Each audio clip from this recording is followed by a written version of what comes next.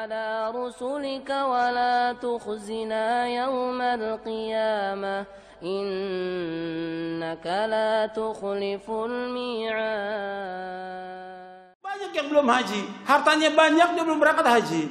Haji wajib, punya harta nggak wajib, punya kebun nggak wajib, punya mobil nggak wajib, punya ruko nggak wajib, tapi haji wajib. Dia wajib untuk berangkat dengan istrinya, dengan orang tuanya, dengan anaknya. Untuk haji wajib. Wajib. Allah akan tanya nanti dari kiamat, kenapa dia belum haji? Kalau dia punya harta, kalau dia nggak mampu ya mau dia katakan nggak apa-apa nggak mampu.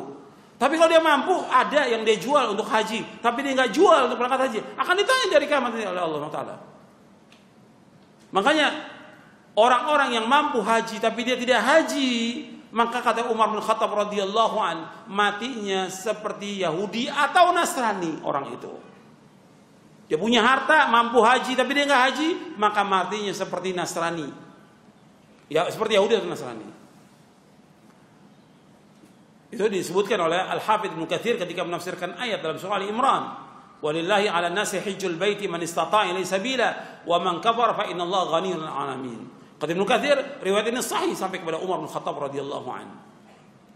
Makanya kalau kita punya harta, kita dahulukan untuk berangkat haji. Haji dulu. Wajib ini. Ini rukun Islam. Ada orang pernah tanya, Ustaz, gimana Ustaz? Saya belum punya rumah, saya masih ngontrak. Saya beli rumah dulu atau haji? Haji. Rumah bisa kita ngontrak. Apa kita ngontrak terus nggak ada masalah kita jadi kontraktor?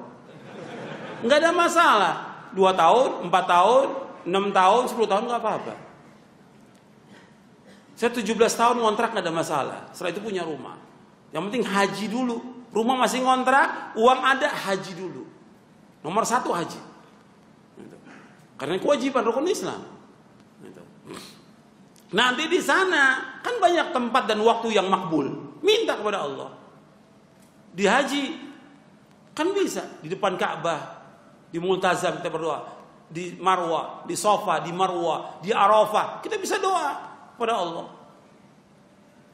Bahwa kita belum punya rumah ya Allah, saya butuh untuk tempat berteduh dan buat keturunan saya. Minta kepada Allah. Haji dulu wajib. Jelaskan ke kita minta kepada Allah, minta semua adukan ya Allah saya ini masih ngontrak, belum punya rumah. Jelaskan dan saya butuh untuk tempat tinggal. Pasti dikasih, pasti dikasih oleh Allah. Dan banyak yang seperti itu. Jadi yang wajib ini dulu haji. Cuma jangan kemudian nekat. Nekat apa? Utang dia. Utang, kredit. Lo antum jadi beban. Haji nggak bisa, rumah utang, kemudian juga utang sama yang lain. Jadi susah hidup ini. Ada kita beli nggak ada sabar. Kan begitu para sahabat. Radhiyallahu Ada beli nggak ada sabar. Apa yang kurang bagi kita minta kepada Allah, jangan minta kepada manusia. Adukan kepada Allah Taala.